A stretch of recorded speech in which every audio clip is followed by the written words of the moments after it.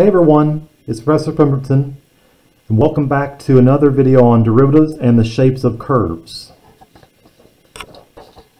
So in this video we're going to focus on the next few objectives. Determine intervals on which a function is increasing and decreasing using its derivative.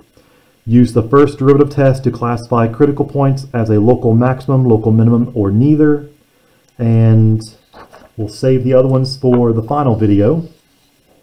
So if you remember, we left off at increasing and decreasing functions from the previous video. The main significance of the mean value theorem is that it enables us to obtain information about a function from information about its derivative. What that means is that we have already seen that if the derivative is positive, the function, the original function, is increasing on that interval. And if the function is decreasing, that means the sign of the derivative had to be negative. So now we can discuss what's called the increasing and decreasing test. If the sign of the derivative is positive on an interval, the original function is increasing on that same interval. If the derivative is negative on that interval, then the original function is decreasing. For the remainder of this section, we will be making what's called sign charts or number lines that will denote the critical numbers and their connection to the sign of the derivative and the behavior of the function of the original graph f of x.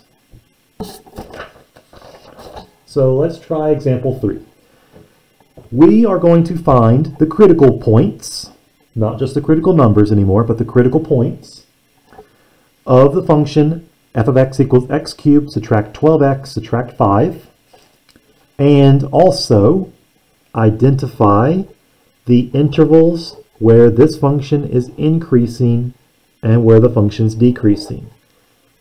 Now, the derivative or the, the graph of the f of x is given, but we will not use that in determining where is the function increasing and decreasing. It's not a college algebra problem. We're going to use calculus.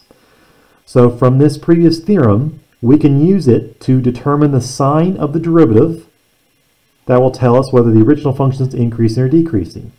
Okay, so let's start off by finding the critical numbers, which we can then find the critical points. So find, finding critical numbers. If the function is x cubed subtract 12x subtract 5, find the critical numbers first.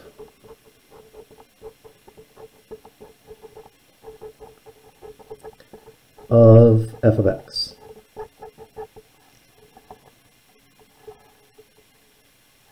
So to find the critical numbers, the derivative is 3x squared subtract 12 Notice that this derivative will always be defined. So f prime of x is undefined, never occurs.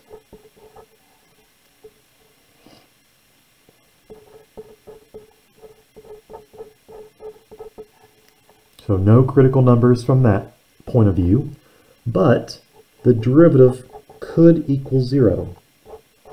That gives us 3x squared subtract 12 equals 0. Now you can solve this equation several ways because it is a quadratic equation. I typically like the factor. So factor out the GCF of 3. Then notice it's a, G, it's a difference of squares. x plus 2 times x minus 2 equals 0.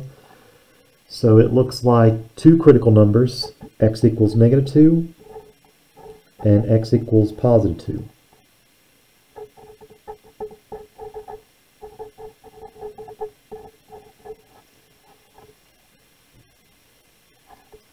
Okay, so now we're going to find the critical points. They're labeled in the graph, but here's how you can find the critical points. We know the x values where there's a horizontal tangent line because the derivative is 0. Substitute these x values back into the original function to find their corresponding y values, and then you'll have the entire point. So f of negative 2, you'll find out it's 11 and f of positive 2, you'll find out it's negative 21. So the critical points are negative 2, comma 11, and positive 2, comma negative 21. Okay. Once you have the critical numbers, then we can make a sign chart. And this is going to be a commonly used method from the for the rest of this um, video and the next video. So a sign chart is just essentially a number line. So this is something I picked up whenever I took calculus. I'm going to label this number line the derivative, f prime of x. So this is going to tell me it's a sign chart for the first derivative. You plot the critical numbers on your sign chart in order from left to right. So negative 2 and then positive 2. So I forgot to write down the step. So make a sign chart for f prime of x with critical numbers plotted.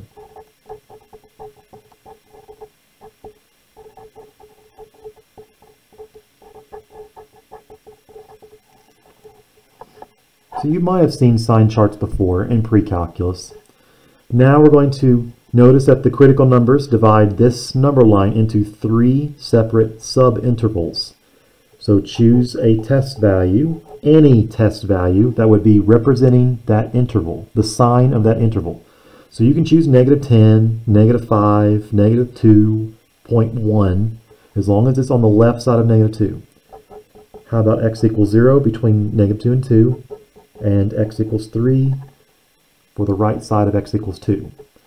These are called test values, and these test values are substituted into the first derivative because we want to determine the sign on each of the intervals. So substitute negative 3 into the derivative. So this is a step, substitute the test values into f prime of x to determine the sign.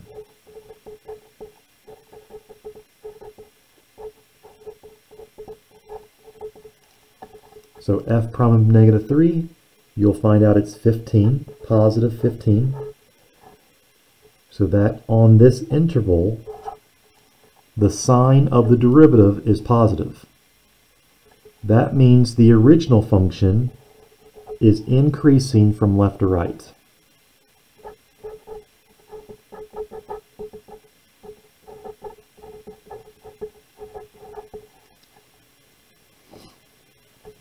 Okay, so next value. Next test value is 0. Substitute this into the derivative, and you'll find it's negative 12. So less than 0. So it's negative on this interval between negative 2 and 2 and that tells you the original graph f of x is decreasing. So f of x is decreasing on this interval. And do the same for the last test value.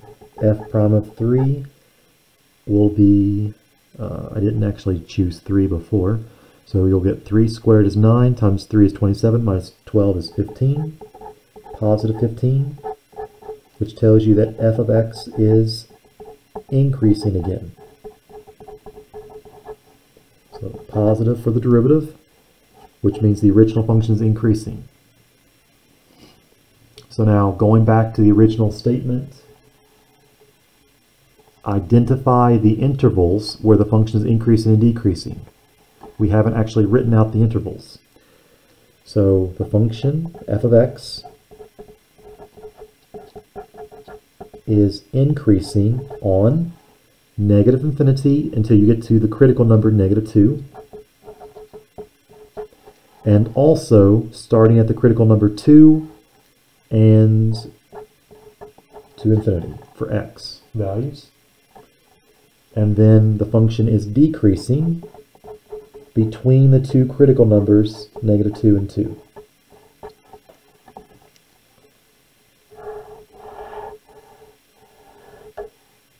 And we also have the critical points.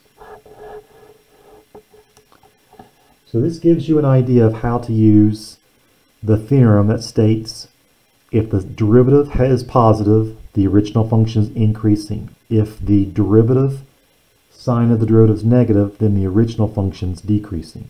And we also have an example of using a sign chart now.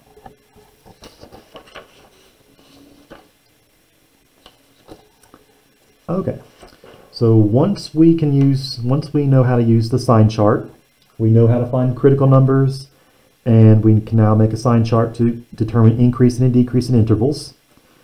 Remember in the previous video, we discussed, or a couple videos ago, we discussed a function has a local maximum or local minimum at x equals c, then c is a critical number of the function.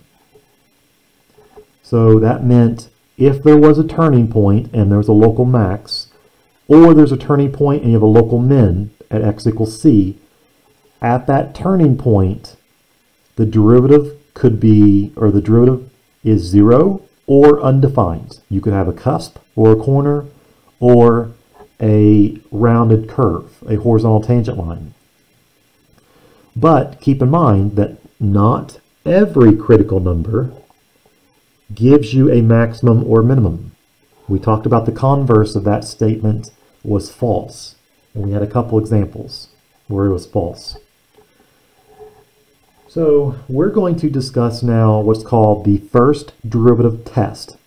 We can use the sign of the derivative to determine whether the original function will have a local maximum or a local minimum. And here's the test. Suppose that c is a critical number. So x equals c is a critical number and the function is continuous. If the derivative changes from positive to negative, going from left to right on your sign chart or number line, then the function has a local maximum at x equals c. On the other hand, if the derivative changes from negative to positive at x equals c, then you have a local minimum.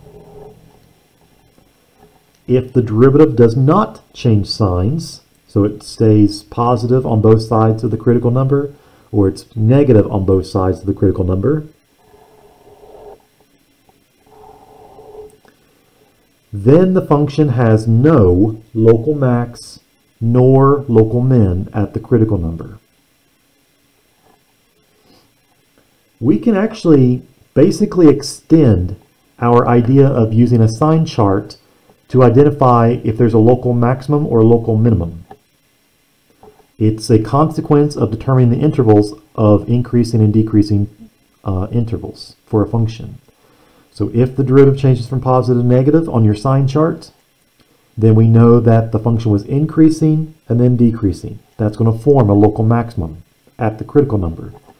If the function is increasing and then decrease, or it's just, it's the op, that's just the statement I just said, I just stated. So you have a local maximum. And then there's a similar statement for local minimum. So this diagram is a good illustration of when do you have a local maximum, when do you have a local minimum, and when do you not have a local max nor local min? We already talked about absolute max and absolute or absolute minimum and absolute maximum, so we're not going to discuss those. But if you notice, the function is increasing on the left side of our first critical number C1.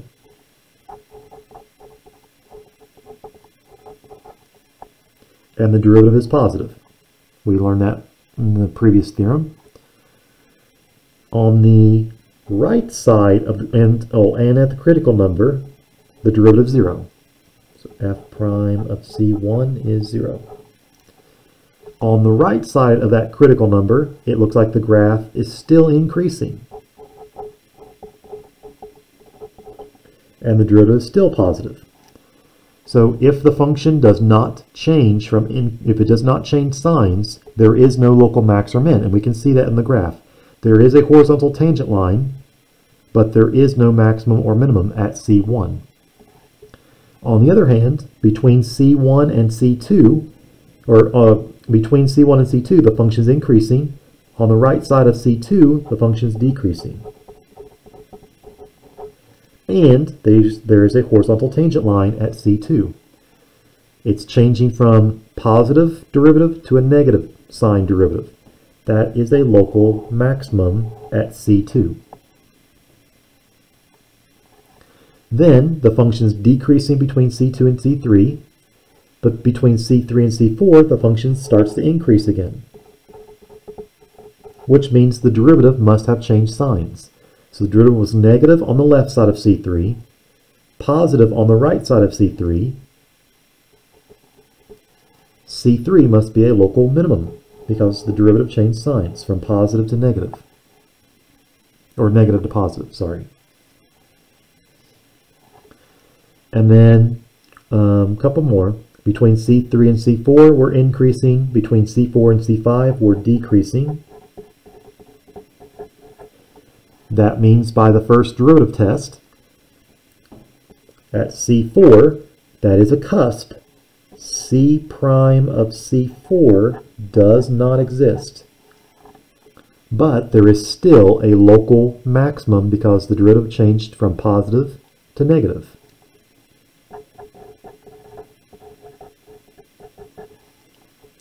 And the last case, if the derivative is negative, then it's decreasing. And if it's still negative, it's still the, the original function is still decreasing. So even though the derivative is zero, it's not a local max or local min. So it's no extreme value, no extremum. It, the local max and local min only occurs when the derivative changes signs. So let's try example four. The critical points of a function can locate where the function is increasing or decreasing on either side of the critical point. So in example four, find the critical points first for the function x to the one-third times x minus 4 and determine where the function is increasing decreasing, just like example 3. But this time, also determine where is there a local maximum and local minimum values. So these are these are referring to the local maximum value and local minimum value. So these are the y values, not the x's. Okay, let's start off by finding the critical numbers of f of x.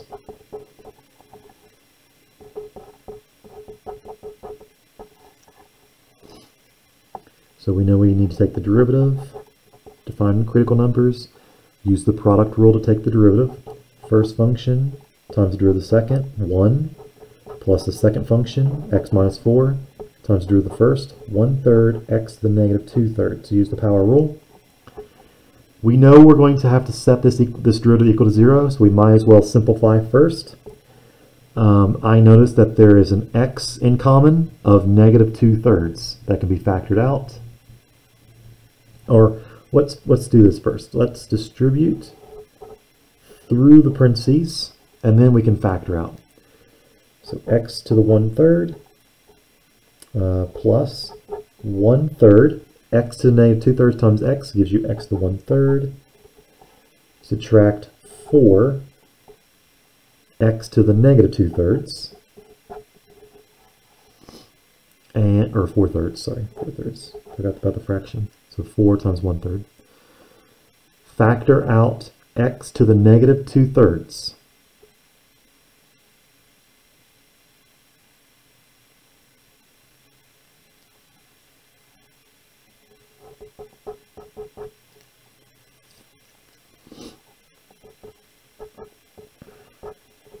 which is the least power of x in common between the two terms. So if you factor out x to negative 2 thirds, or, you know, you know what, let's actually combine these like terms first. 1 x to the 1 third, 1 third, x to 1 third, that's 4 thirds, x to the 1 third, minus 4 thirds, x to the negative 2 thirds. So we can factor out a 4 thirds x to the negative 2 thirds. So from the first term, there is x to the first power left, because you, when you multiply, you add the exponents. And the second term, there is a 1, because we factor out the entire term.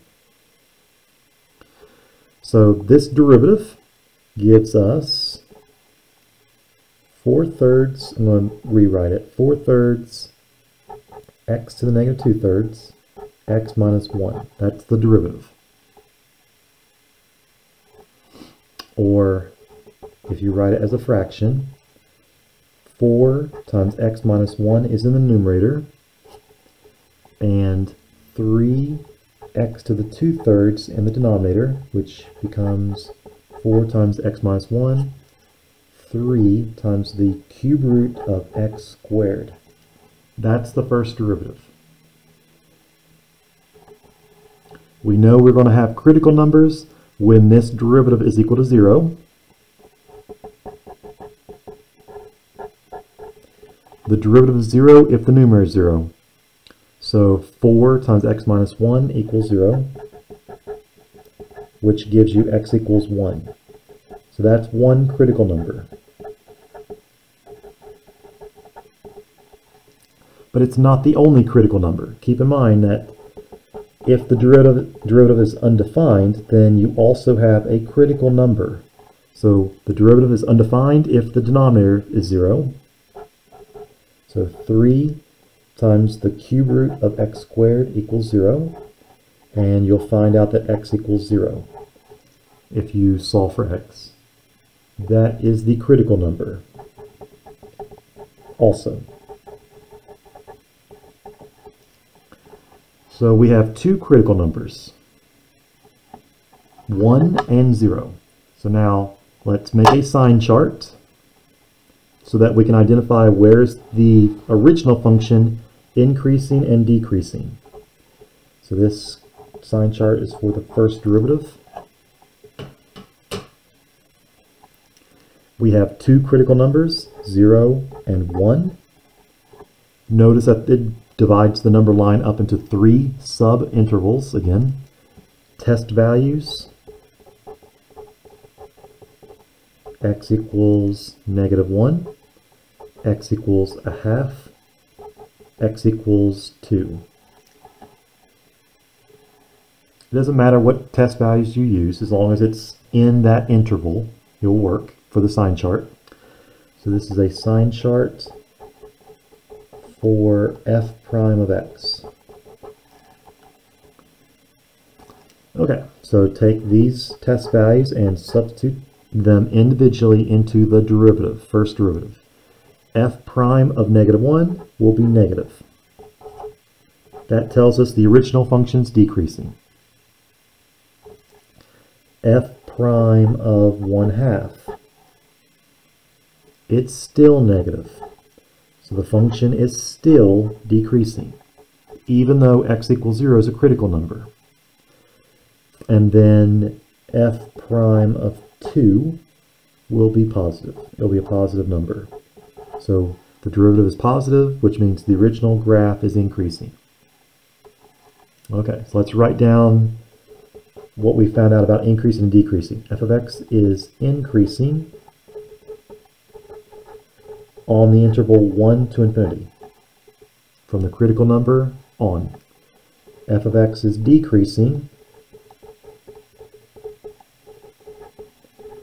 on the interval negative infinity until 1. So negative infinity until 1 is where, where the function is decreasing. So now we need to identify are there any local maximum or local minimum values in the function? And we can use the sign chart. So on the left side of x equals 0, which was a critical number, the function is decreasing. And on the right side of the critical number, you're still decreasing. So x equals 0 is not a local max nor local minimum value. But on the left side of x equals 1, the function is decreasing. On the right side, the function is increasing. So there is a local maximum, or minimum, minimum, local minimum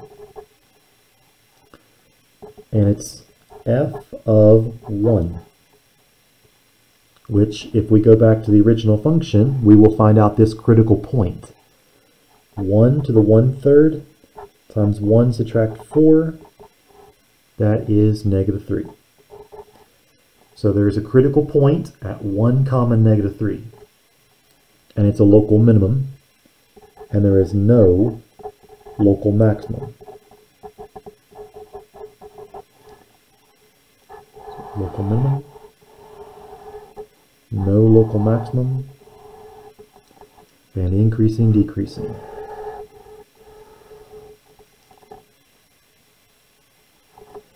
So we've talked about critical points, increasing, decreasing intervals, and local max and local mins. It's just local max and local mins, like I said, are just an extension of using the number line or sign charts. All right, and then let's try one more example in this section, and it's the exact same instructions as example four. Find the critical points of a function x squared subtract 3 times e to the x. Determine where the function is increasing and decreasing. And determine any local maximum or local minimum values. Same as example 4. So like I said, the graph is given, but it's not to be used. We need to use calculus to find the local max and local minimum values.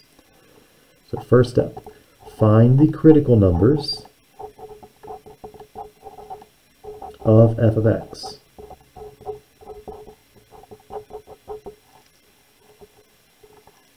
So we need to use the product rule again.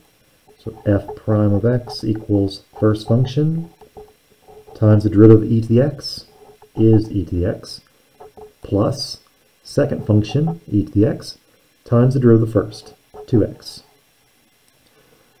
Um, notice that you can factor out e to the x from both terms.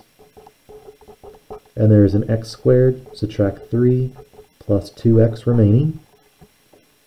And this doesn't look, I mean, this is not in descending order, but if you rewrite it in descending order, x squared plus 2x subtract 3, this will factor further. e to the x times x plus 3, x minus 1. Okay, so we will have critical numbers when the derivative is 0. So take the equation and set it equal to 0.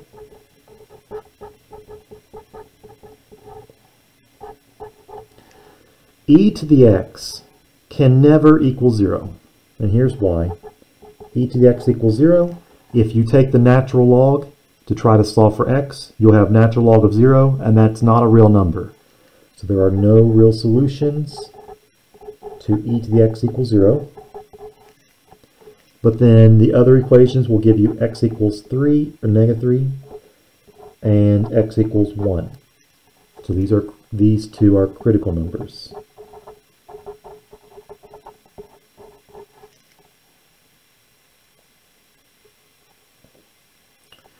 And notice that f prime of x is undefined, that never occurs. So there are only two critical numbers for f of x. Let's make a sign chart.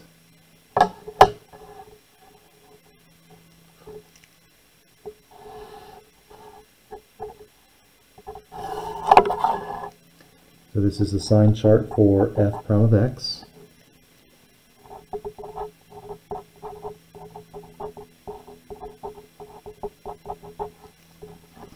plot the two critical numbers, negative 3 and 1. It divides this, the number line or uh, sign chart up into three intervals again. Let's use test values, negative 4, x equals 0, x equals 2. And these test values are substituted into the derivative to determine the sign of the derivative. So f prime of negative 4, that will be positive. So the original function f of x is increasing. f prime of 0 is negative. So the original function is decreasing.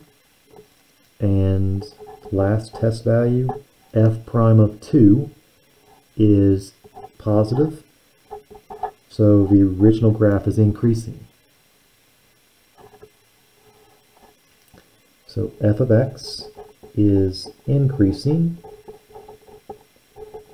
on the intervals, negative infinity until the first critical number, union the second critical number to infinity, so 1 to infinity. f of x is decreasing between the two critical numbers, negative 3 and 1.